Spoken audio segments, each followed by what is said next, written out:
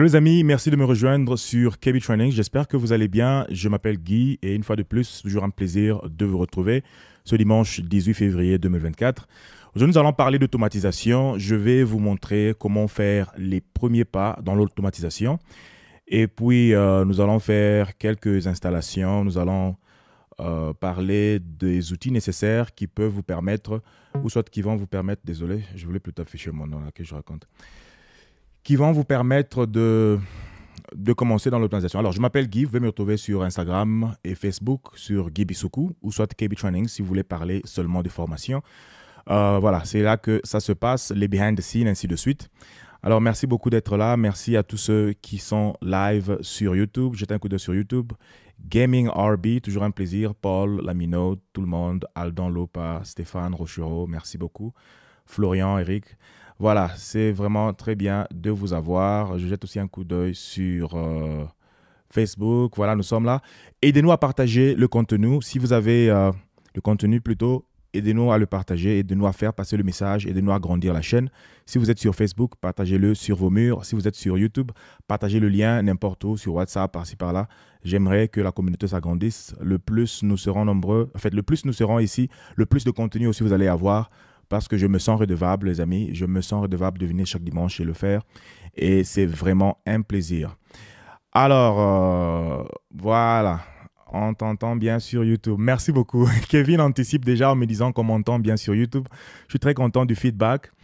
Et euh, voilà, nous allons commencer. Comme je l'ai dit aujourd'hui, nous allons parler de l'automatisation. Vous avez vu, j'ai vu ma face. J'ai mis en face là avec, euh, avec une moitié robotique. Comme ça, euh, c'est pour vous montrer qu'en faisant l'automatisation, vous devenez pratiquement comme un robot, ou soit vous créez des petits robots qui vont faire du travail à votre place et qui vont vous faciliter la vie. Et je parle d'automatisation parce que c'est une partie très importante. Les amis, je vous dis une chose. Souvent, quand je veux venir le dimanche live, euh, deux fois jusqu'à vendredi, samedi, il y a des jours où je n'ai pas de quoi parler. Je ne sais pas de quoi je vais parler. Alors, j'ai parlé d'automatisation parce que je l'ai juste pris dans l'un de mes labs que j'étais en train de faire. Il y a il y a un lab là que je vous ai montré dernièrement sur cette chaîne. Euh, je suis toujours là-bas. Je suis toujours en train de, de, travailler là-dessus. C'est ce lab ici spécifiquement. Donc, euh, j'ai quelques, quelques machines, Folinet, ainsi de suite.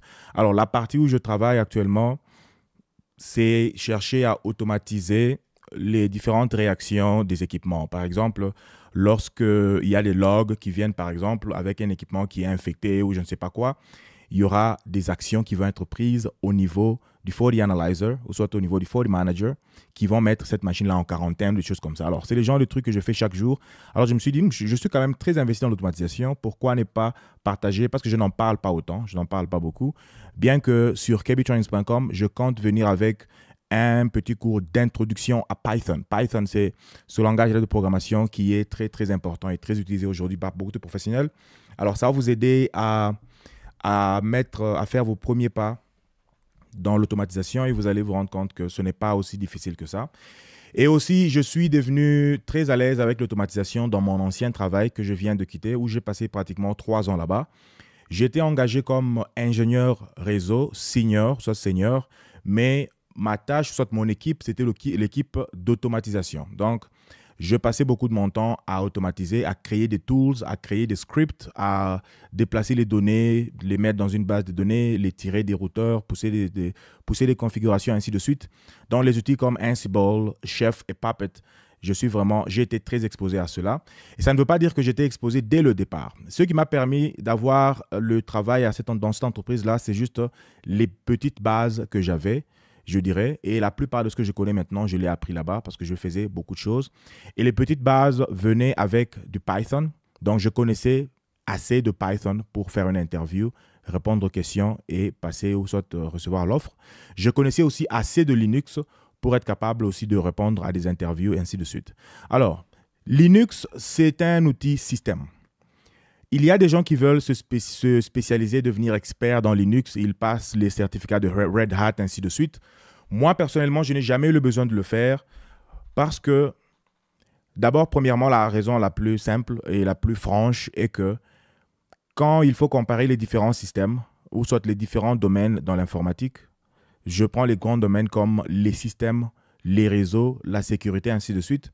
Parmi tous ces domaines-là, ou la cybersécurité aussi, parmi tous, ces domaines-là, il y en a qui payent bien, il y en a qui payent assez bien, il y en a qui payent pas très bien du tout. Alors, les systèmes, selon mes recherches, selon l'environnement où je suis, selon mon marché à moi, les systèmes, c'est le domaine qui paye le moins.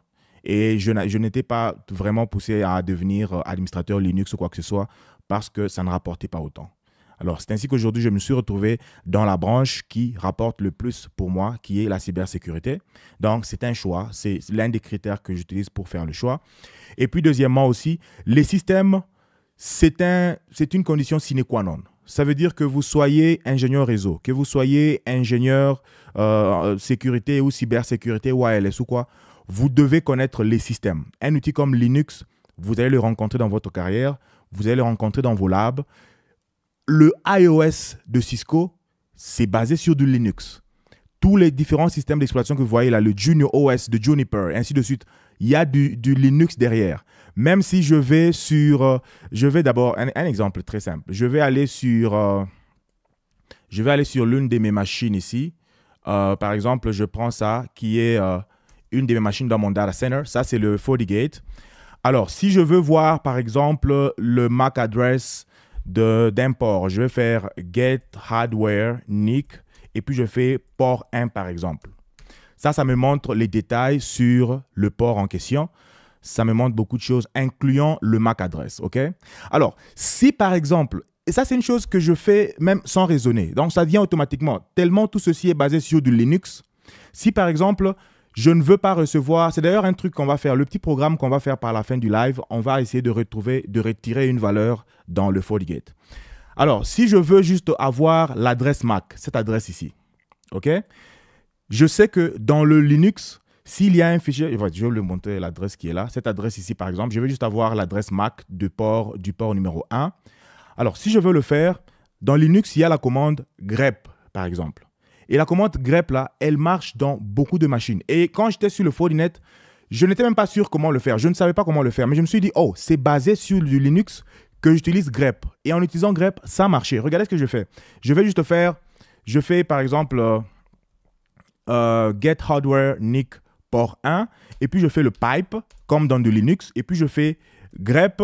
Et puis je fais hardware address. Quand je fais ça, ça veut dire je vais avoir la sortie ou soit la réponse de cette commande.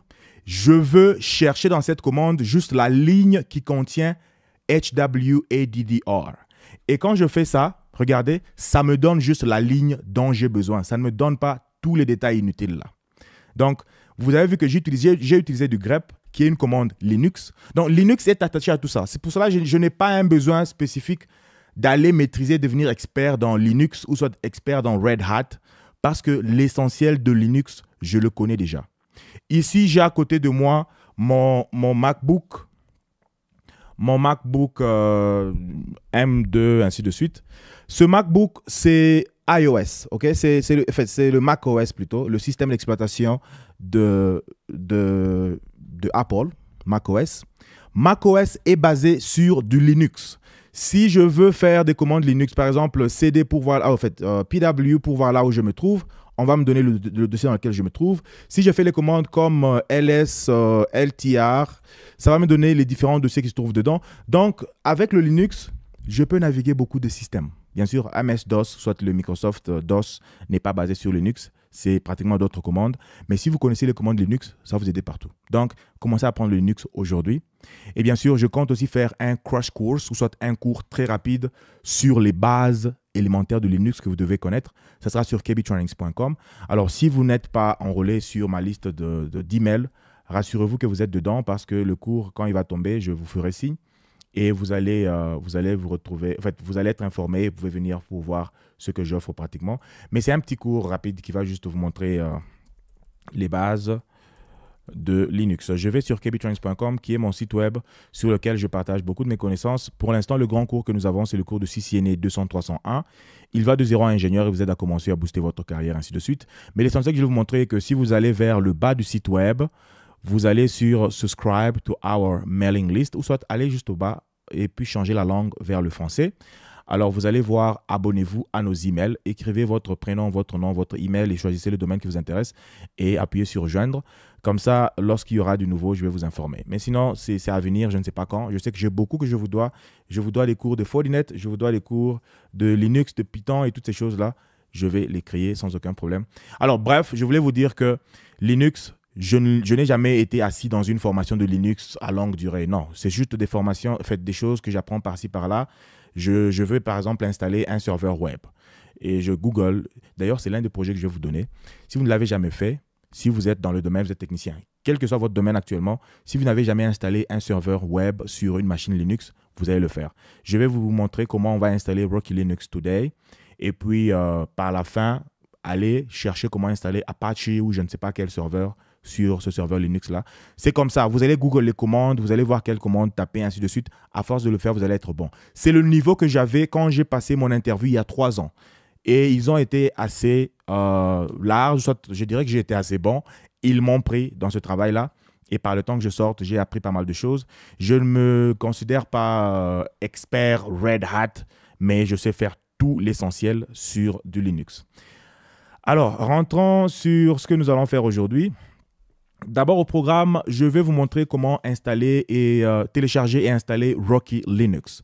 Rocky Linux, c'est une flavor, ou soit c'est une version de Linux qui est devenue, euh, qui, a, existé depuis toujours, mais euh, qui est devenue très populaire dernièrement, surtout quand CentOS s'est décidé de changer de, de, de, stratégie et de devenir CentOS Stream.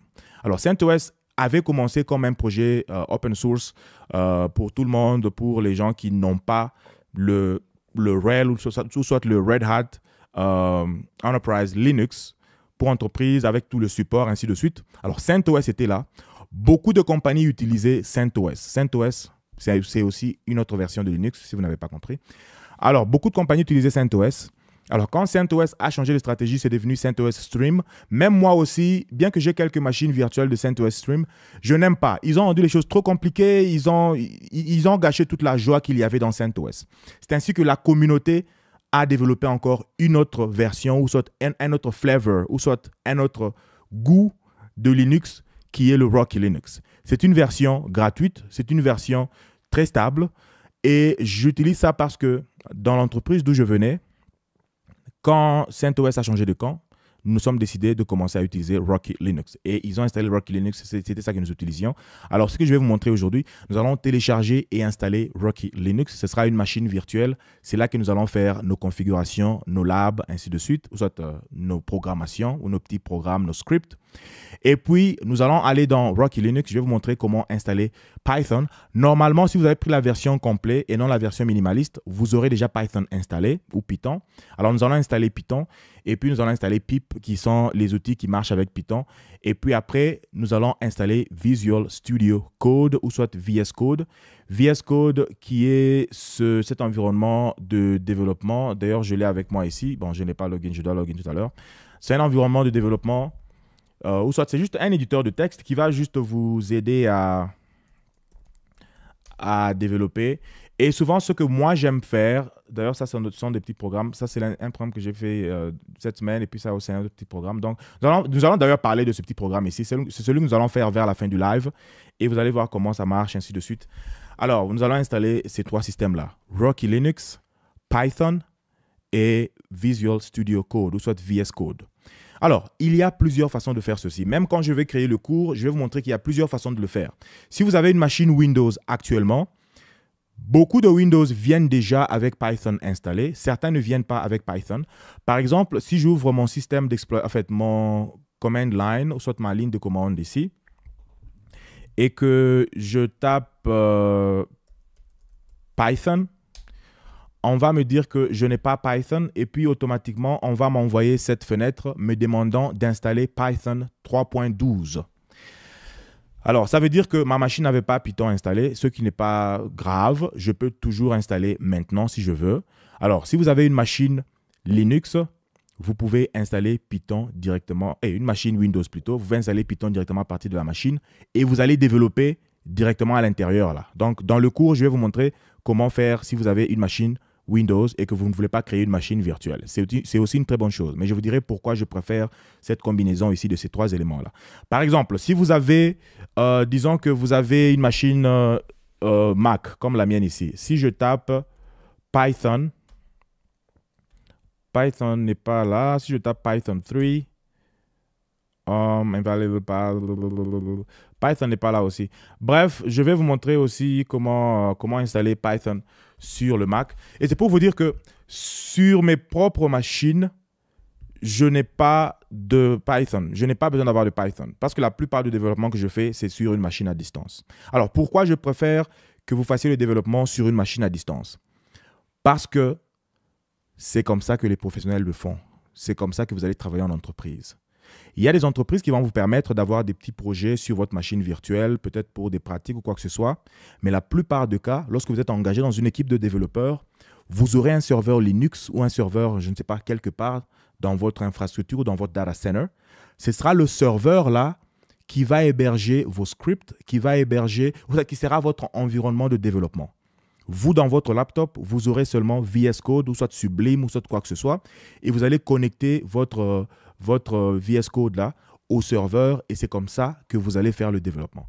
C'est ainsi que je veux vous habituer déjà à être à, l'aise avec un environnement comme ça. Et puis ça rend les choses très faciles. Pourquoi? Parce que je peux être là aujourd'hui, j'ai mon, mon Mac avec moi.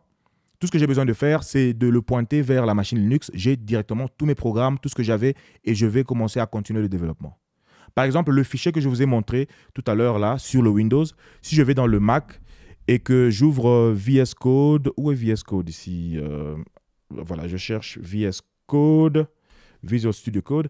Si j'ouvre comme ça et que je cherche à aller sur Rocky Linux, un instant, j'ouvre là, on me demande le mot de passe. J'espère que vous voyez tout ça sans problème. Hein. Dès que j'entre, regardez, ça c'est le petit programme là que je vous ai montré sur le Windows. Maintenant, il est disponible sur le Mac. Donc, ça vous rend flexible. N'importe quel outil vous avez en main, pointez-le vers le serveur de développement et vous êtes connecté, vous, vous n'avez aucun problème. Et puis, si c'est une machine virtuelle et que vous l'avez en production, vous pouvez dupliquer la VM pour faire des pratiques. Et lorsque vous, vous savez ce que vous faites et que c'est bon, vous allez mettre ça en production. Donc, vous aurez un serveur Linux ou une machine Linux vous aurez Python installé sur la machine Linux et puis vous aurez VS Code sur n'importe quelle machine qui a une connexion à la machine Linux et vous allez vous connecter pour faire le développement. C'est comme ça que je l'ai fait pendant les trois ans passés quand j'ai développé pour, ou soit quand je, faisais des scripts ou je faisais l'automatisation pour Charter Communication, qui est une compagnie de télécommunications, là où je, je viens de quitter à peine. Alors, c'est un peu ça l'objectif qui me pousse à vous montrer ces trois éléments-là. Mais encore une fois, vous pouvez avoir Python directement sur votre machine, vous pouvez avoir VS Code directement sur votre machine et développer directement sur la machine. Alors, si vous voulez créer l'environnement virtuel comme je vais le faire aujourd'hui, moi, dans mon cas, je vais utiliser, euh, le lab que vous connaissez déjà. Ça, c'est mon lab ESXi. Euh, c'est là que je vais créer la machine Rocky Linux. Mais sinon, vous avez l'option de télécharger euh, VMware Workstation ou soit, je ne sais pas, comment on appelle, VirtualBox, toutes sortes de choses. Là, vous avez plusieurs options de créer des machines virtuelles. Et dans le cours, je vais vous montrer les petites options là. Bref, euh, c'est là que nous sommes. Juste un coup d'œil dans le chat pour voir ce qui se passe là-bas. J'ai parlé pendant longtemps sans rien lire. J'ai besoin d'aide sur mon Ubiquiti. Pouvez-vous m'aider Il y a des gens qui me, qui me demandent d'aide spécifique, qui m'écrivent par email pour que je vienne interagir dans leur euh, projet, que je leur montre quoi faire et que je, je les aide à troubleshoot. Les amis, comprenez le modèle que je suis en train de faire aujourd'hui. Par exemple, dans ce live, nous sommes, très nombreux. Et si j'allais sur un appel avec tout le monde qui me contacte pour les aider à résoudre leurs problèmes, bien que j'ai vraiment la, volonté l'envie de le faire, je ne saurais même pas faire des vidéos, faire des, examens ou tout ce que je suis en train de préparer là. Si vous voulez que je vous aide et que ce projet-là est sérieux et que vous voulez que je prenne mon temps, 30 minutes, 1 heure, pour venir travailler avec vous, prenez le temps de booker un appel avec moi payez pour l'appel, je vais venir. Si vous me payez, je viens. Là, en tout cas, si c'est vraiment important, je vais venir. Attendez, je vais vous balancer le lien que vous, pouvez utiliser pour, euh, pour me, me, joindre ou soit euh, pour booker un appel. Comme ça, à partir de ce lien-là, vous allez... Euh, un instant. Calendly.com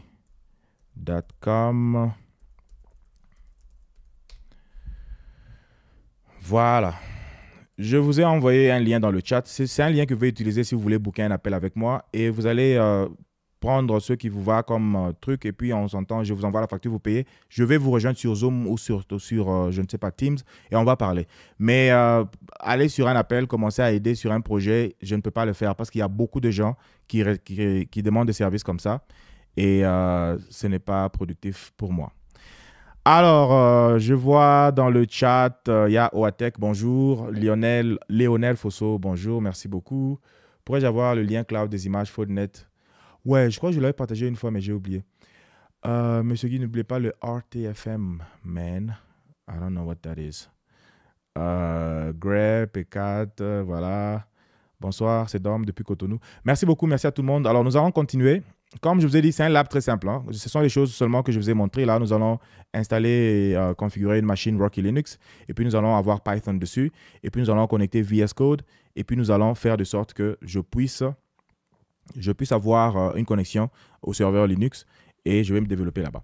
Alors, pour installer... Euh, pour installer Rocky Linux, tout ce que vous devez faire, oh, une autre chose qui m'est venue en tête. J'ai un examen que je vais passer demain. C'est un examen de FODNet. Mes amis, j'étudie beaucoup. J'étudie tout le temps. Et si vous voulez aussi avancer la carrière, vous voulez aller loin, étudier, euh, soyez toujours disposé à apprendre. Donc, j'ai un examen sur le FODISACI qui est un examen de NSC 7 ou soit le FCSS que je vais passer demain soir. Donc, dès que je termine ce live, je termine celui d'anglais, je rentre dans mes labs again, ou soit dans mes, mes cours et mes labs pour me préparer pour les examens de demain. Donc, c'est ce qui me préoccupe maintenant là. Bon, pas préoccupé, mais c'est ce qui est euh, top priority pour moi en, ce moment. Et surtout que demain, c'est férié aux États-Unis. C'est la journée du président, donc c'est férié. J'ai pris l'examen tard dans la soirée. Comme ça, j'aurai le temps de me préparer ce soir et demain matin aussi. Et le soir, je passe l'examen. Donc, si je n'en parle plus, c'est que je n'ai pas réussi. je blague. Mais je vais réussir. Je crois que c'est un examen qui va être très abordable. Je me suis déjà assez préparé.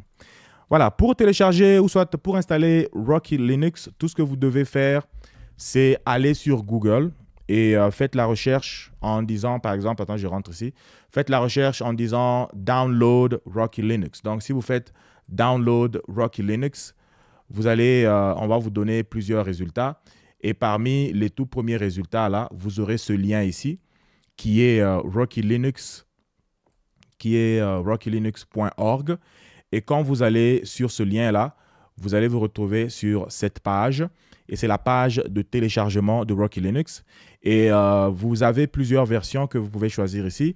Comme je vous avais dit au départ, si vous avez la version minimale, elle peut ne pas avoir Python. Comme vous pouvez voir, il y a la version minimale, il y a le DVD. Le DVD, c'est la version complète qui contient, déjà la plupart d'outils. Même le graphique aussi se trouve dans le DVD. Et puis, euh, moi, mon architecture, c'est une architecture de, de 64 euh, bits.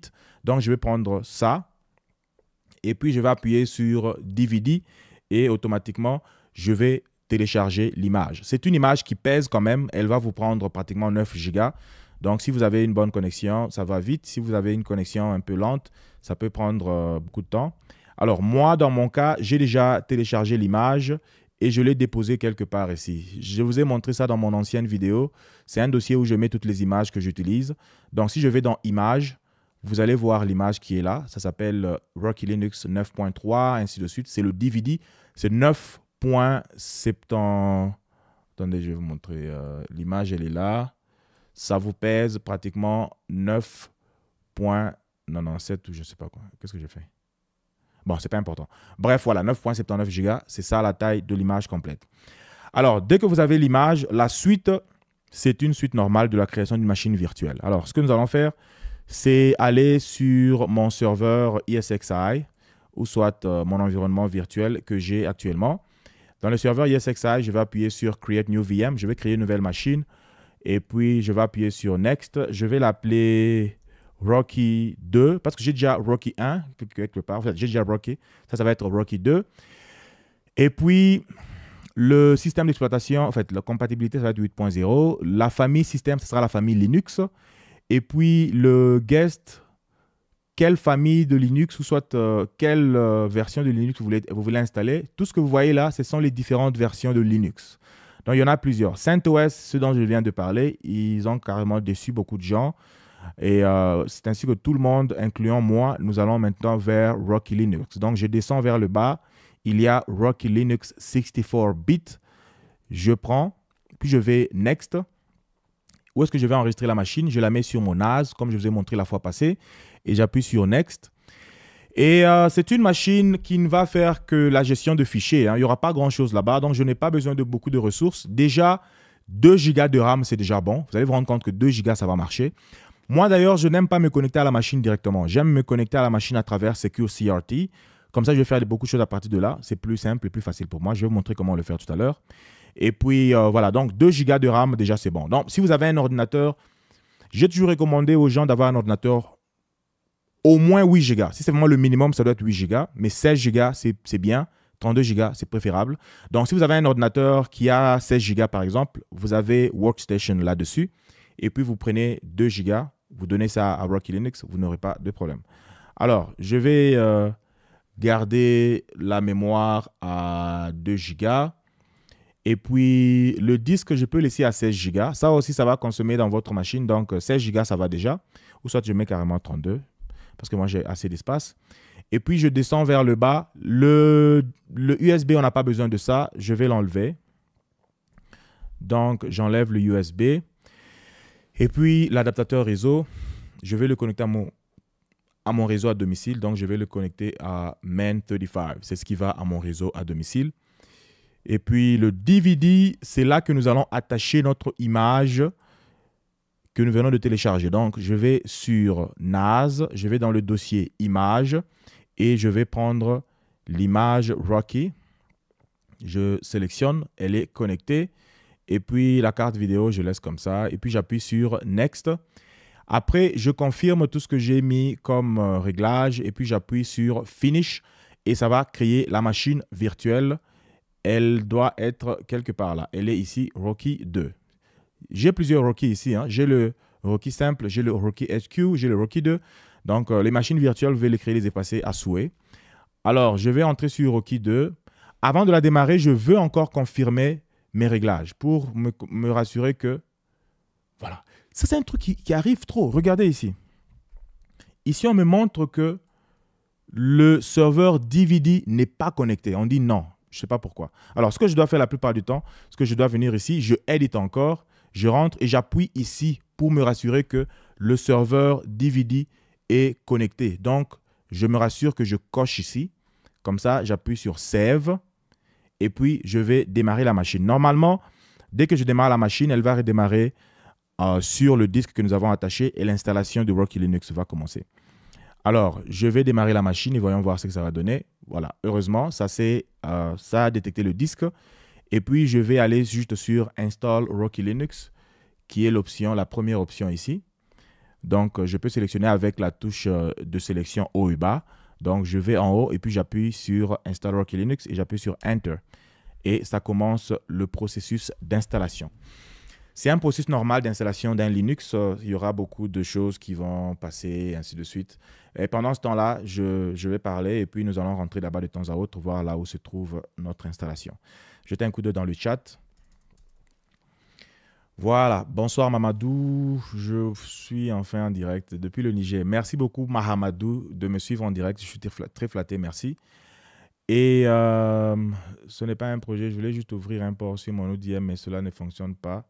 J'ai un message d'erreur. C'est ça, Sika, ce n'est pas un projet, oui, mais ça veut dire que je dois consacrer au moins 15 ou 30 minutes pour être avec toi sur un appel et puis t'aider à ouvrir le port. Je pense que c'est ça. Mais sinon, bon, envoie-moi un email. Je vais répondre par email. Mon email, c'est contact euh, kbtrainings.com. Merci beaucoup, Sika. Euh, je ferai le, meilleur possible. Il y a des gens avec qui j'ai été sur des appels juste comme ça.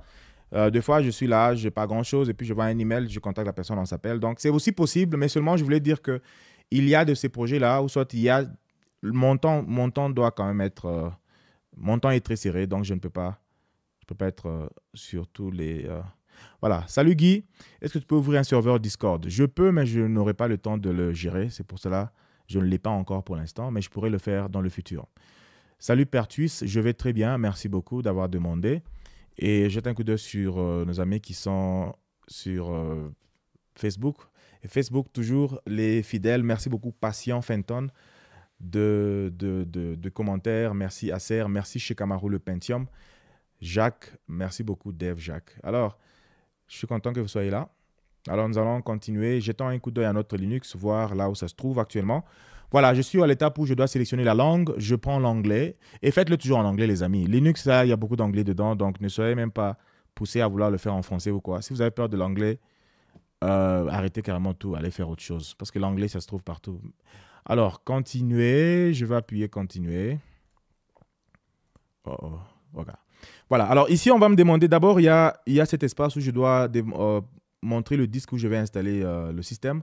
Donc, je vais prendre ce disque de 32 Go, je le sélectionne et puis j'appuie sur Done. Voilà. Et puis, on me demande de créer un mot de passe route. Alors, route sur le Linux, pour ceux qui ne connaissent pas, route, c'est le super administrateur. Route, c'est la racine. Le mot route veut dire racine en anglais. Donc, c'est l'utilisateur qui a accès à tout.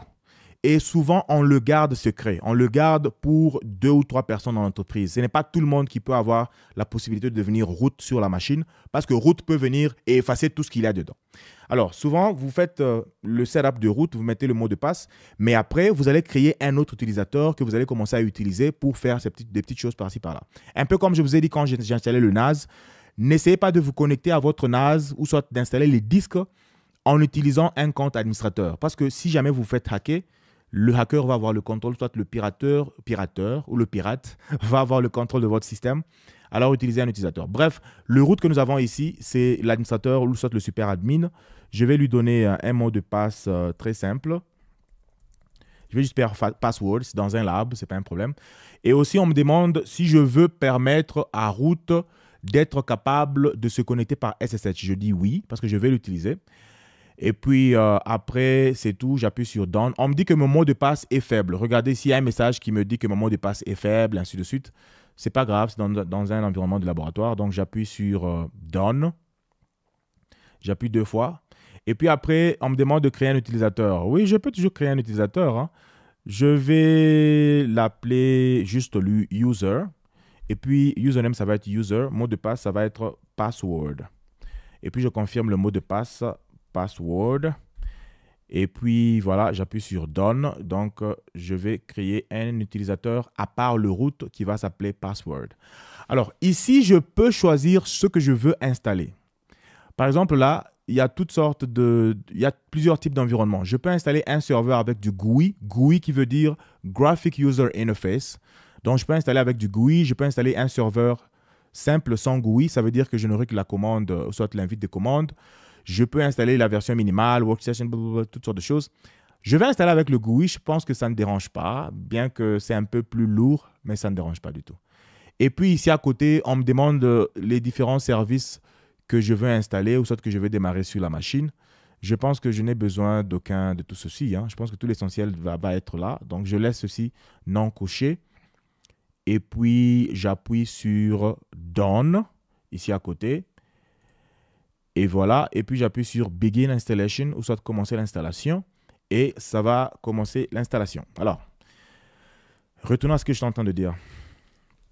Donc, je vais passer un examen euh, demain soir. Ce sera sur le SASI. SASI, c'est une nouvelle, un nouveau produit. Bon, il est sur le marché depuis longtemps, depuis euh, quelques années maintenant.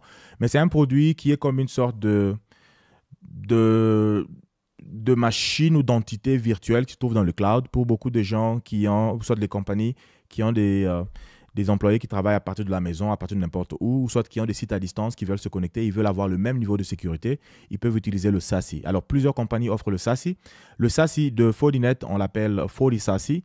Et euh, c'est pratiquement un environnement intégré Fortinet qui fait du SASI. Donc, c'est ce que je suis en train d'apprendre ces derniers temps. Et euh, ça a l'air de, de bien avancer. Quoi d'autre? Mais à part cela, je passe aussi beaucoup de temps sur euh, le lab en train de faire la topologie là dont je vous ai, euh, je vous ai parlé. Toutes sortes de choses. Des fois, ça marche, des fois, ça ne marche pas. Des fois, je me casse la tête.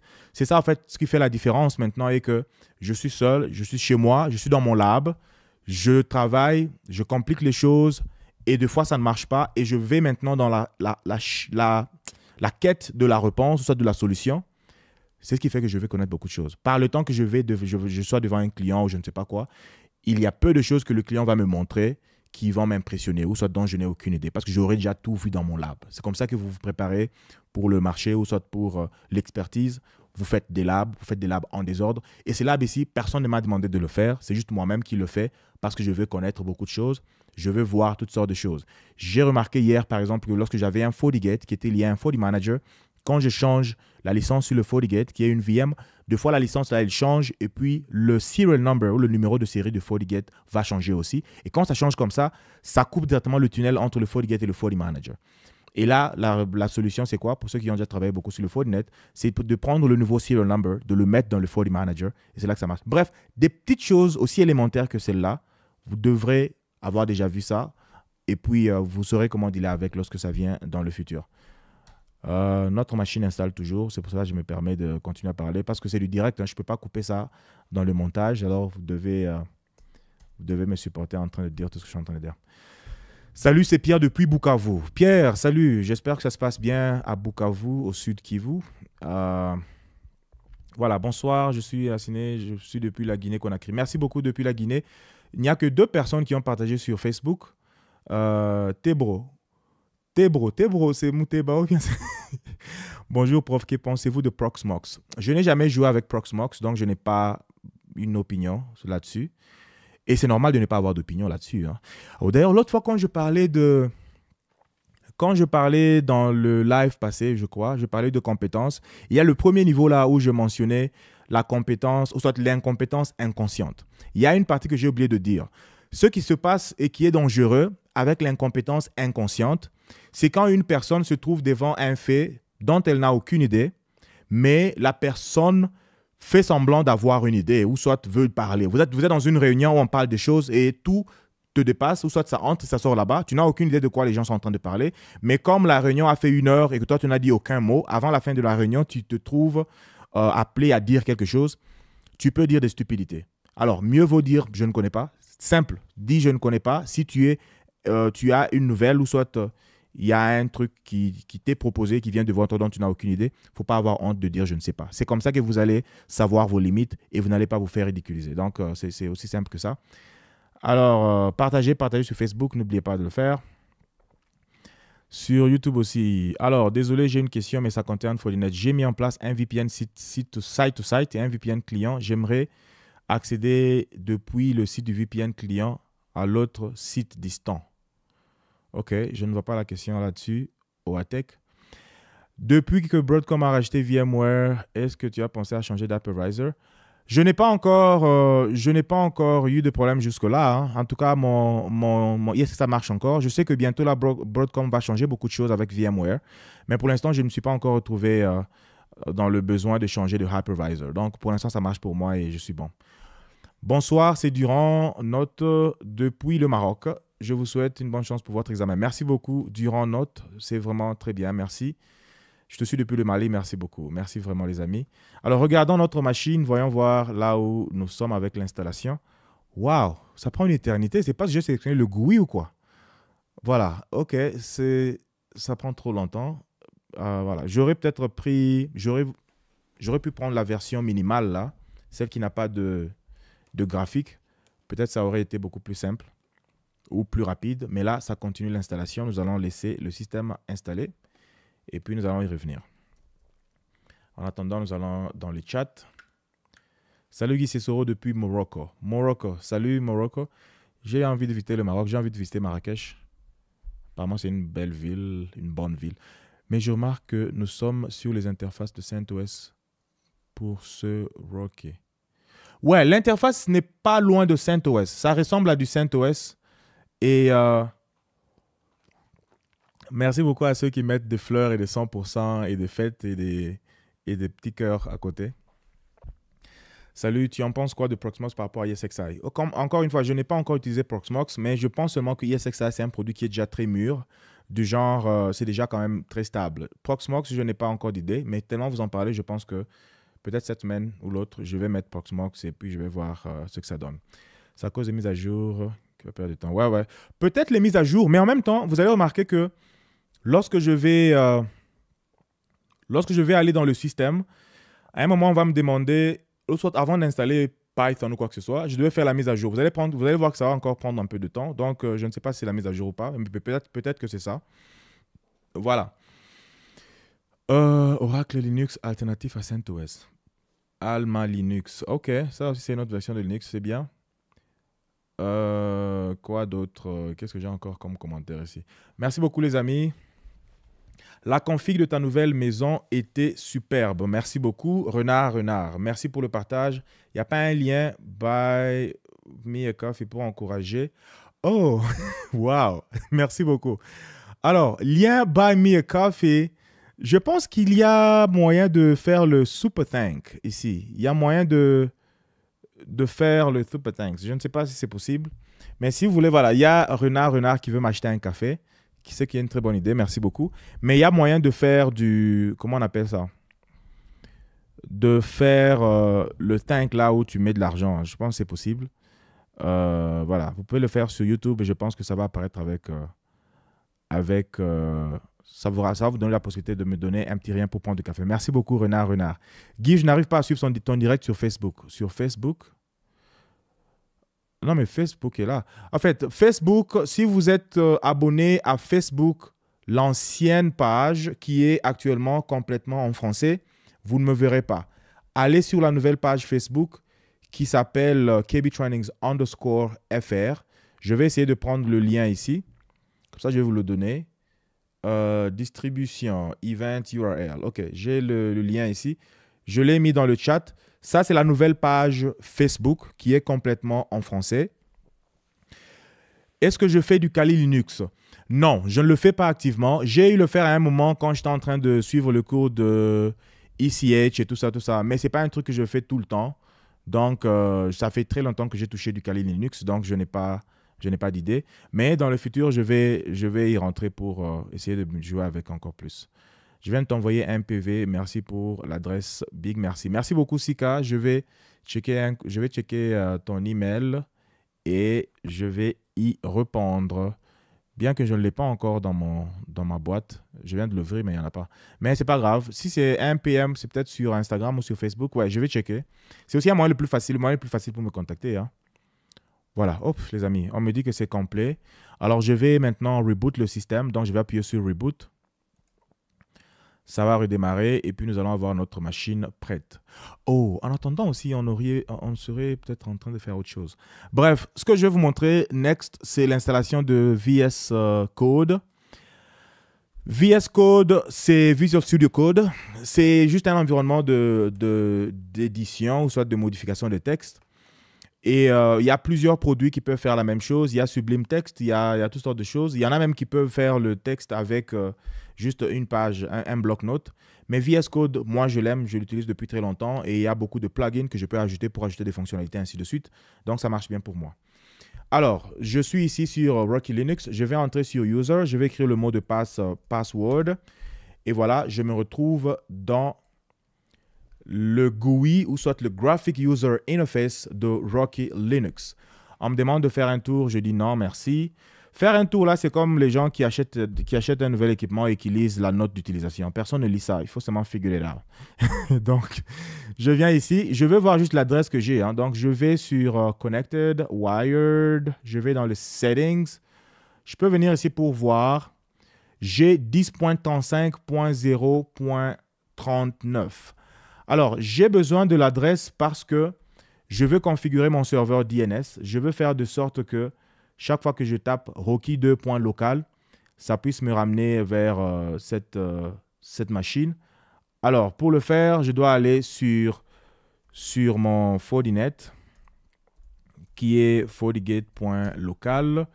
J'entre là-bas. Un instant, je vais juste euh, mettre l'entrée DNS là. Comme ça, je vais aller configurer le SSH et tout ce qui, tout reste là. Donc, un instant. Voilà. Read and write. OK. Voilà. Une, une seconde. Voilà, ici je suis sur la, fenêtre euh, où je mets mes entrées DNS dans mon, dans mon Fortinet ou mon FortiGate. Alors je vais venir ici, je vais créer une nouvelle entrée. Euh, je crée une entrée que je vais appeler euh, Rocky ou soit R2. J'appelle seulement R2.local. Et puis l'adresse va être L'adresse va être 10.35 35.0.39. Voilà, donc quand je finis, j'appuie sur OK, et puis j'appuie sur OK, puis c'est fini, je peux fermer cette euh, fenêtre. Alors la bonne chose est que si je vais maintenant dans mon invite de commande, euh, j'espère que vous pouvez voir, et que je tape la commande, euh, je tape nslookup, et puis je mets r2.local, ça me remet 10.35.0.39. C'est ça que je veux. Alors, maintenant, j'aimerais avoir un accès à cette machine-là. Alors, je vais ouvrir mon Secure CRT qui est ici. Et euh, souvent, je, vais juste prendre, faire le copier-coller de ce que j'ai déjà ici. Non, non, j'ai ici Rocky, ben, c'est pas grave. Je vais commencer une nouvelle session. Donc, je commence une nouvelle session. Ce sera une session SSH. Et puis, l'adresse va être r2.local. Pour bien voir, je fais toujours le zoom. Alors, r2.local, ce sera l'adresse de ma machine, ce sera du 22. Je peux y entrer comme user, tout comme je peux y entrer comme root. J'espère que pour ne pas me compliquer la tâche, je vais carrément entrer comme root, hein, parce que je suis dans mon lab. Mais dans un environnement de, production, ne faites pas comme root, faites comme user. Bref, alors je vais entrer comme root et puis je vais appuyer sur euh, Next. Et puis on va me demander si j'ai besoin de transfert de fichiers. Hmm, non. Et puis, je vais appuyer sur Next. Et puis, on me demande comment je vais appeler la session. Je vais, euh, je vais l'appeler pratiquement Rocky 2. Et puis, voilà, je vais appuyer sur Finish. Et si vous regardez ici à côté, en plus, euh, en plus de Rocky 1, j'ai Rocky 2. Alors, ce qui va se passer est que dès que je vais double-cliquer sur Rocky 2, on m'envoie la fenêtre d'avertissement pour le certificat, j'appuie et puis route, on me demande le mot de passe, je vais écrire password et bien sûr, je vais faire de sorte que le password soit enregistré comme dans le lab, j'appuie sur save password et j'appuie sur OK. Voilà, directement, je suis à l'intérieur de notre euh, machine Rocky Linux et c'est la même machine qui était de l'autre côté. Donc, euh, actuellement, je n'ai plus besoin d'être connecté ici. Donc, je peux carrément fermer ceci, fermer cela. Je n'ai plus besoin de ça. Voilà. Nous avons l'environnement Rocky Linux. C'est du Linux et il y a beaucoup de petites commandes Linux que vous devez connaître, hein, juste en général, pour bien travailler. Euh, je ne peux pas en parler maintenant. On est déjà live depuis combien de minutes? Waouh, depuis 51 minutes, c'est presque une heure. Je vais aller un peu plus vite maintenant. là. Donc, euh, nous avons déjà pris le temps d'installer ceci. Alors, je peux voir le dossier dans lequel je suis en faisant PWD. Ça va me donner le dossier dans lequel je suis. Si je vais rentrer en arrière, je peux faire CD espace double point. Ça va me faire rentrer en arrière. Je peux faire PWD pour voir le, là où je suis. Je suis pratiquement dans la, la racine ou la base. Alors, je peux faire euh, ls, ltr pour voir les dossiers qu'il y a dans, dans ce dossier là où je suis. Ça sont les différents fichiers et dossiers qu'il y a dedans. Alors, je peux créer un environnement où je vais commencer à faire le développement, ou soit je vais commencer à, mettre mes scripts. Je vais faire... Euh, ou soit je rentre carrément dans le route, je fais CD, je rentre là où j'étais là je suis dans le route, et puis je vais créer un nouveau fichier. Pour créer le fichier, on peut faire la commande mkdir ou soit make directory. C'est pour cela, ces commandes ici font sens quand vous les comprenez. C'est pour ça que je disais que l'anglais est très important. MK, ça veut dire make dir comme directory. Ça veut dire créer un dossier. Je vais créer un dossier, un dossier que je vais appeler script. Et puis voilà, si je fais ls-ltr, euh, ça va me montrer les différents dossiers que j'ai ici. J'ai ce truc dans la compte de configuration je ne vais pas utiliser. Mais voilà, je viens de créer script. Alors, je peux faire cd script pour entrer à l'intérieur du dossier script. Et là, je me retrouve à l'intérieur. Je n'ai rien ici à l'intérieur. Donc, on est bon, il n'y a pas de fichier. Je peux rester ici. Alors, bref, la prochaine étape dans notre configuration, c'est d'installer Python. Oh, d'abord, comme je vous ai dit, Python, Python peut être déjà installé. Vérifions si nous avons Python installé. Pour vérifier, je vais faire, je vais faire euh, à partir d'ici, je fais which Python pour demander quel Python. Vous voyez que ces trucs, c'est pratiquement un langage humain. Donc, je demande which Python.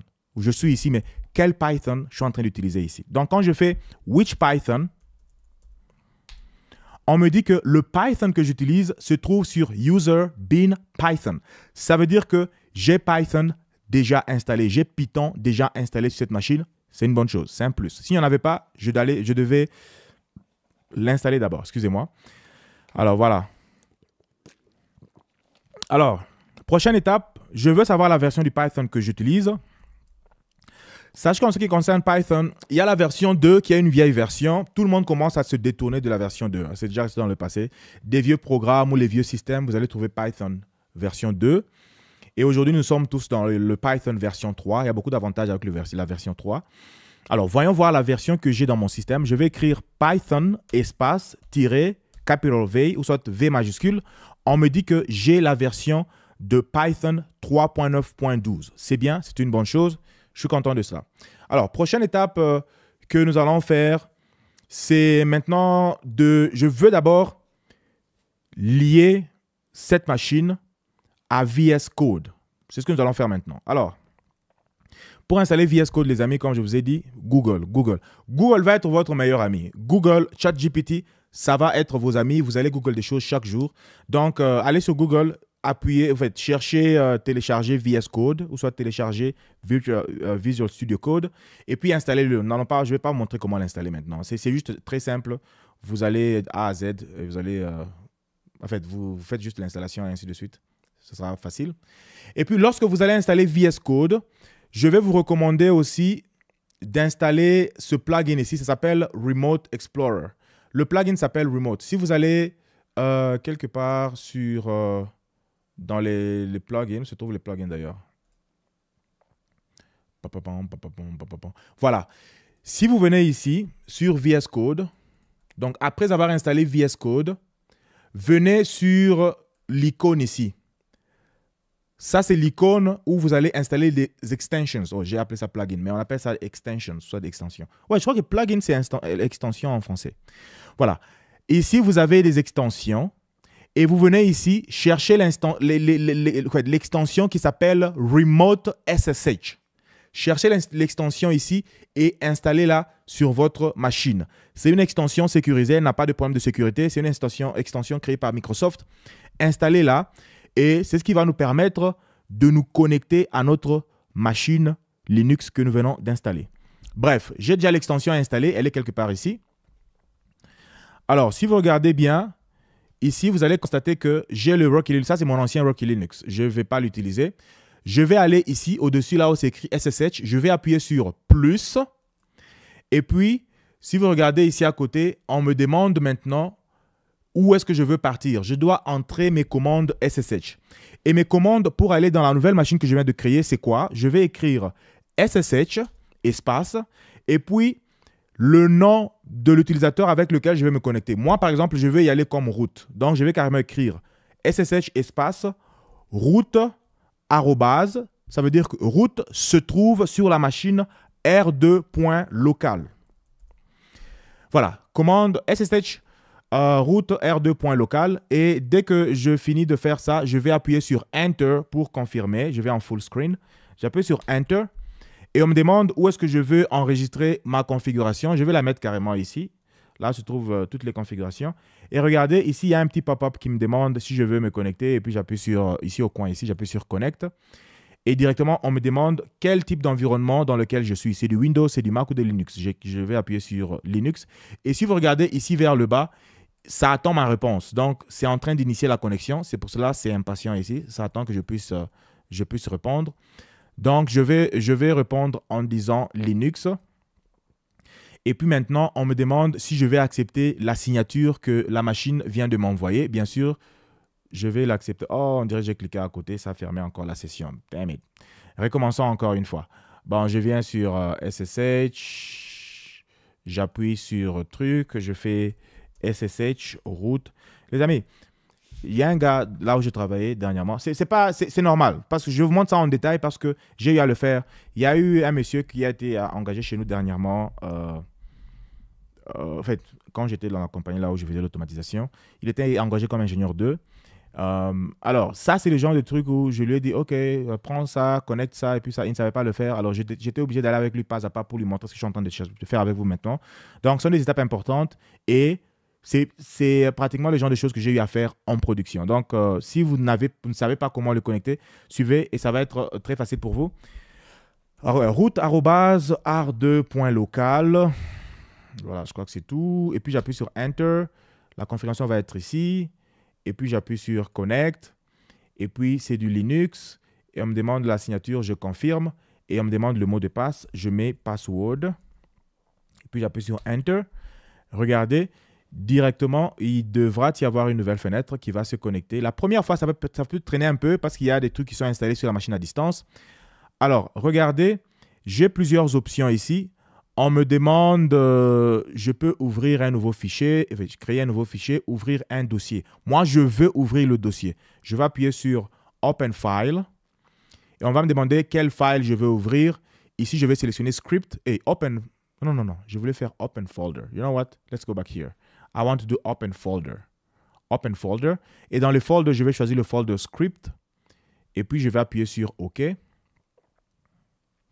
Voilà, c'est en train de résonner ici à côté. Et bientôt là, oh, on me demande encore le mot de passe. Password. Trop de sécurité.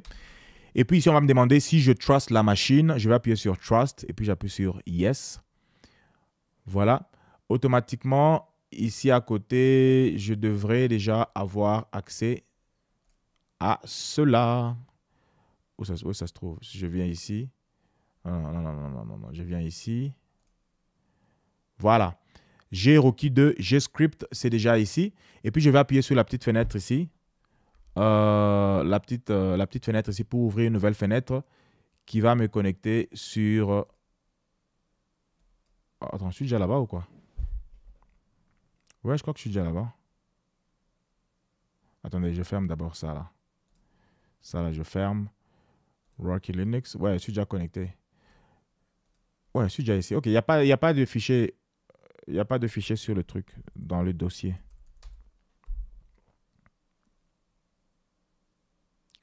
Oh oh.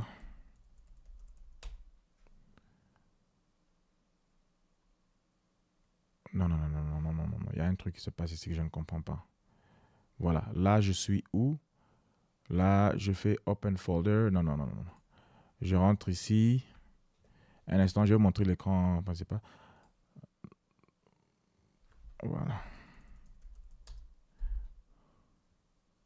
Voilà. Oh, je suis déjà dans le dossier, mais parce qu'il n'y a pas de fichier. regardez. Allons ici. Je vais créer un nouveau fichier, vous allez voir. Je vais, euh, je vais ici, là, je suis dans le Linux, je suis dans le dossier script quand je fais pwd. Alors ici, je vais créer un fichier que je vais appeler euh, nano test.py. Py, nano, c'est une commande qui vous permet de créer euh, un fichier et de commencer à, le, à, écrire dedans. Et puis test, c'est le nom que j'ai donné au fichier. Py, c'est l'extension qui veut dire que c'est un fichier Python. Dès que je fais ça, j'ai un fichier qui est créé ici pour moi. Je peux faire un commentaire. Comme c'est du Python, je vais écrire ce fichier est un test. Ce fichier est un test. Et puis c'est fini. Je fais CTRL X. Regardez, ici en bas, on vous donne les raccourcis pour faire toutes sortes de choses. Par exemple, je vois que exit on m'a dit le signe là X, ça veut dire CTRL X. Si je fais CTRL X, on me demande si je veux enregistrer, je dis Y comme yes, et puis on me demande de confirmer le nom, j'enregistre. Donc si je fais LSLTR, vous allez voir que j'ai un nouveau fichier qui, s'appelle test. Et regardez maintenant la bonne chose. Si je rentre sur mon, mon VS Code, regardez, le fichier test là est déjà ici. Donc je l'ai déjà ici. Je peux venir l'ouvrir à partir d'ici et continuer à faire le, le, editing. Donc, c'est la partie que j'aime le plus. Donc, je peux l'ouvrir ici. Vous voyez, ce fichier est un test, un point trait. Ici, on me demande d'installer une extension Python. Je crois que je peux l'installer, hein, ça ne dérange pas. Euh, je l'installe. Si on vous demande d'installer une extension Python, faites-le aussi. Ça installe maintenant là. Je vais, rentrer là-bas. Voilà, c'est installé. OK, bref, j'ai test Python que j'ai quelque part ici. Alors, c'est ici que nous allons faire nos petites connexions. Jette un coup d'œil dans le chat avant de continuer euh, jusqu'à la fin. Euh, voilà. Vous êtes devenu silencieux dans le chat là. Hello Guy, merci pour ce live. Merci Dixon. Est-ce que en se connectant avec SSH depuis VS Code, la machine virtuelle doit être en cours d'utilisation ou pas? Doit être en cours d'utilisation la machine virtuelle, je ne comprends pas. Il suffit qu'il y ait une connexion. La machine doit être bien sûr active. La machine virtuelle de Linux doit être active. Comme ça, je vais me connecter. Je ne comprends pas la question. en utilisation, dans quel sens? DSP digital Madara, merci beaucoup. Extension sur VS Code, merci beaucoup. Euh, Maestro Alberto Mbungu, merci beaucoup. Merci Alberto. Euh, tu as dit que dans le domaine du système, il y avait moins d'argent. Alors, question, quel domaine est le plus rémunérateur? Le domaine le plus rémunérateur... Oh, vous êtes en train de voir mon écran. le domaine le plus rémunérateur, c'est selon moi la cybersécurité, suivi par le cloud. Euh, voilà. Ouais, cybersécurité, cloud, sécurité, réseau, voilà. Cybersécurité, c'est le domaine le plus rémunérateur. Parce que quand il s'agit de sécurité, les compagnies ne, ne captent pas les corners. Ça veut dire qu'il peut y avoir un hack qui vous arrive dans la compagnie qui va vous coûter 2 millions de dollars.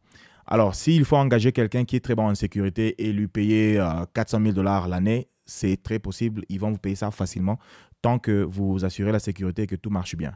J'ai vu des gens être payés 700, 800 000 dollars. C'est tout à fait possible dans ce domaine, dans la cybersécurité. Alors, euh, Banakino, bonsoir. Et il a parlé de la cybersécurité comme domaine. Voilà, il y avait déjà une réponse euh, qui, qui a été déjà postée. Bonsoir, coach Guy. Une fois de plus, merci pour, ce que, pour le partage. Franck depuis Brazzaville. Merci beaucoup, Franck. Alors, nous sommes vers la fin. J'ai déjà connecté mon image. Euh, en fait, j'ai déjà connecté ma machine vers euh, le Linux. Comme ça, je peux faire le, je peux faire le développement directement sur mon VS Code. Euh, voilà, voilà, voilà, voilà, voilà. Où est-ce que je suis? Je vais vous montrer ça. Voilà, ça c'est déjà un fichier test. Ici, je peux écrire tout ce que je veux. Je peux écrire je sais pas, n'importe quoi. Je peux, par exemple, écrire print ou soit imprime. J'écris Guy. Euh, je peux écrire euh, Guy est un bon. Euh, est un bon. Qu'est-ce que je suis un bon? Un bon. un bon monsieur. Bon, je sais même pas. Guy est un bon gars. Voilà. Alors, quand je fais ça, regardez, est-ce que je peux augmenter la taille de, de ceci? Voilà, ok, très bien. Voilà. Là, j'ai écrit juste une commande euh, Python pour écrire, afficher Guy est un bon gars. Et puis quand je viens ici, j'appuie sur euh, la petite flèche là, ça va rouler le programme et regardez, ça va imprimer Guy est un bon gars directement. Ça, c'est dans, dans le système à côté. Et je peux même aller dans le Linux là qu'on avait à côté. Je vais écrire, si j'écris Python et puis je run le fichier test.py, ça va écrire Guy est un bon gars. Parce que ça, c'est ce que j'ai mis à l'intérieur de mon programme. Et puis, je peux par exemple, au lieu d'écrire ça ici, j'appelle j'appelle sa phrase. Et puis au-dessus ici, je crée une, nouvelle, euh, une nouvelle euh, variable qui s'appelle phrase. Je j'alloue la valeur Guy est un bon gars dans phrase. Regardez, j'ai créé une variable phrase et puis je vais j'écris imprime-moi phrase. Si j'appuie save, je rentre ici. Si je rentre, ça va imprimer Guy est un bon gars. Donc, euh, ça, c'est Python. Python est simple, les amis. N'allez pas avec Python en vous compliquant la tête. C'est un, langage très simple. Vous voyez les Java et les C++, tout ce qu'on connaissait là, c'est compliqué parce que c'était vieux. Quand ça avait, été créé, il y avait beaucoup d'acrobatie à faire autour. Oh non, main, euh, argument, quoi que ce soit l'histoire de Java là. Mais avec Python, tout est très clair. Alors, bref, c'est un fichier texte. Une chose que je vais vous montrer aujourd'hui, c'est euh, le petit script que j'avais écrit dernièrement. Euh, qui va nous permettre euh, qui va nous permettre de nous connecter à une machine euh, à une machine comment ça s'appelle à une machine Fortinet. Mais avant de créer le petit script là, nous devons installer un outil. Python marche avec le système de librairie. Ça veut dire que voilà pourquoi c'est une bonne chose. C'est un objet, Python, c'est un projet open source. Ça veut dire que beaucoup de gens contribuent à Python. Il y a des gens qui ont déjà créé des librairies ou des modules. Ça veut dire qu'il y a, peu de choses que vous voulez faire aujourd'hui que, personne n'a jamais fait avant vous. Si par exemple, je veux me connecter à une machine euh, Fortinet ou soit à un équipement Fortinet, il y a déjà quelqu'un qui a créé une librairie ou soit un module qui me, qui me permet de me connecter facilement à des machines de réseau ou à des équipements réseau. L'un de ces modules-là, c'est Paramico. Il y en a plusieurs. Il y a Netmico, il y a toutes sortes de choses. Paramico, c'est le module qu'on peut utiliser pour lancer une connexion vers une machine Fortinet. Alors, avant de créer mon petit script, comme mon script va contenir le, Paramico, je dois installer Paramico. Et pour le faire, je, dois, je peux faire juste pip install Paramico. D'abord, avant d'installer là, est-ce que j'ai déjà installé pip? Je ne sais pas si pip est déjà installé. Oh, Pip n'est pas encore installé. OK. Voilà. Pip aussi, euh, c'est un tool de Python que vous devez installer. Et je vais, je vais l'installer dans cette machine et j'espère que ça va pas prendre beaucoup de temps. Hein. J'appuie sur, euh, sur Yes pour installer Pip.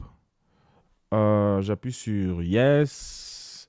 Voilà, ça prend du temps d'installer PIP. D'ailleurs, normalement, avant d'installer, je devais faire la mise à jour de, du système, mais je ne l'ai pas fait, c'est pas grave. Donc, PIP est déjà installé. Donc, maintenant, si je fais PIP install par Amico, alors PIP va me demander d'installer par Amico. Warning, requirement already satisfied. Quoi? Paramico est déjà installé. Ok, c'est bon. Vous regardez, on me donne. C'est pour ça que je dis que l'anglais est très important. Quand vous êtes sur Rocky Linux, on ne va pas t'écrire ça en français ici, on ne va pas t'écrire ça en lingala, on va écrire ça en, anglais. Donc, vous, vous allez troubleshoot ou comprendre tout ce qui se passe grâce au peu d'anglais technique là. Pas l'anglais expert, mais l'anglais technique. On me dit ici que le requirement already satisfied. Euh, Paramico, requirement already satisfied. Ça veut dire que c'est déjà installé et ça se trouve quelque part ici. Est-ce que je peux faire which Paramico Non, non, c'est pas important. Bon, bref, Maintenant, je vais vous montrer euh, mon petit programme là. Je vais le copier là où je l'avais écrit. Je ne vais pas l'écrire ligne par ligne quand même. Euh, pourquoi je n'ai que cette, seule machine? Je me connecte à, ma deuxième machine là. mon, deuxième Rocky Linux. Voilà. Et on me demande le mot de passe. Voilà. Je copie, je copie ce script ici je peux fermer cette fenêtre. Alors, je viens dans notre fichier test là, je le colle. Voilà.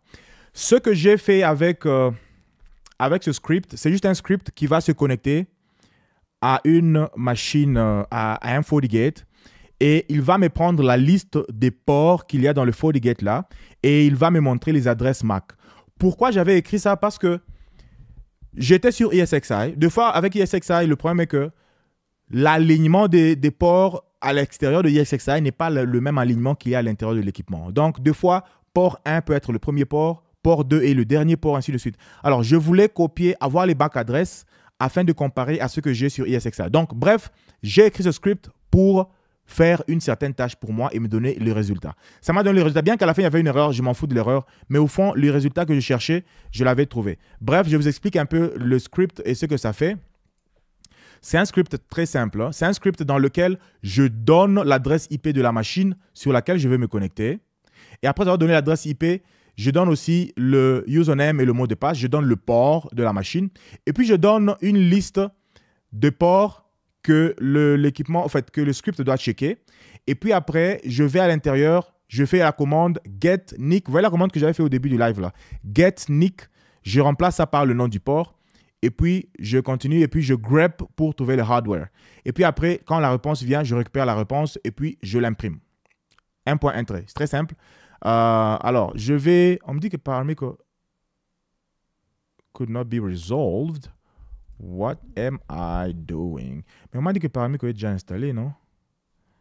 Je sais d'abord. Essayons d'abord de run ce programme. Voyons voir s'il va marcher.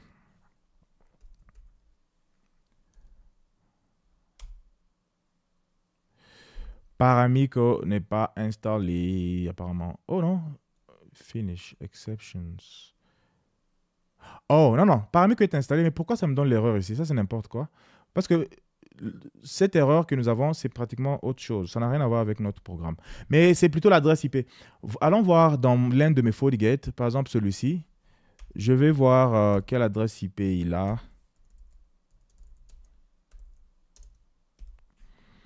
C'est le 10.34.0.2. Voilà. Je vais remplacer cette adresse IP par 10.34.0.2. Et puis, je save. Et puis, je vais run ça ici. Je rentre sur euh, ma machine.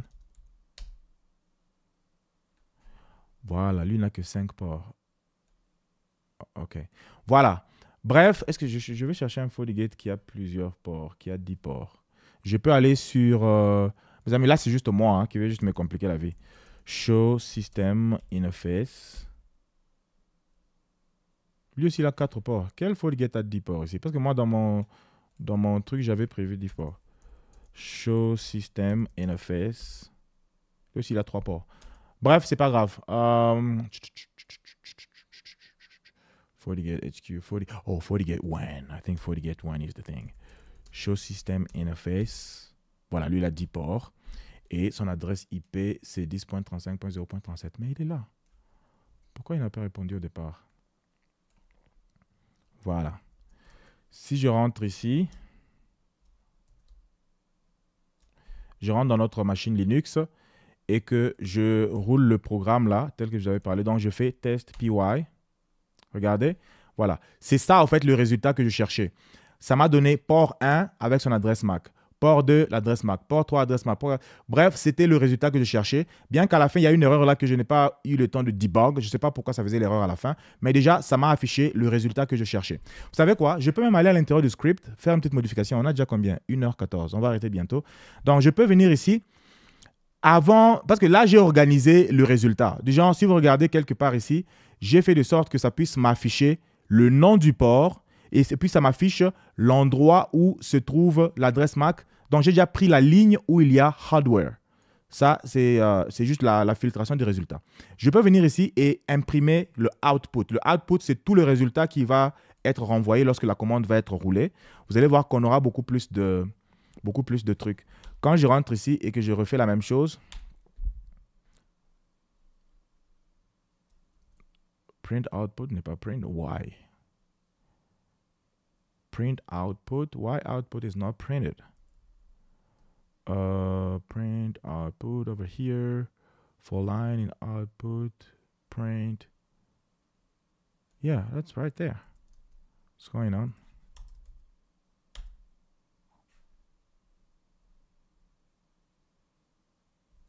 Oh, désolé, je faisais déjà le grep à l'intérieur du truc. Voilà, vous savez quoi? Je vais enlever le grep ici. Hein. Je vais seulement laisser port. J'enlève le grep ici. OK? J'enlève euh, le grep qui est là. Voilà. Et puis je laisse ça comme ça.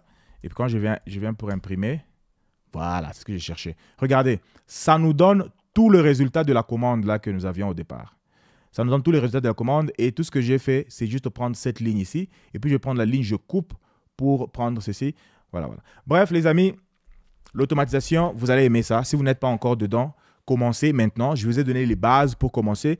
Vous avez un ordinateur installé, euh, Rocky Linux, installé ça là, c'est complètement gratuit. Et vous n'avez même pas besoin de connexion Internet. La connexion Internet, vous en avez besoin seulement lorsque vous devez télécharger les fichiers là de Rocky Linux, ainsi de suite.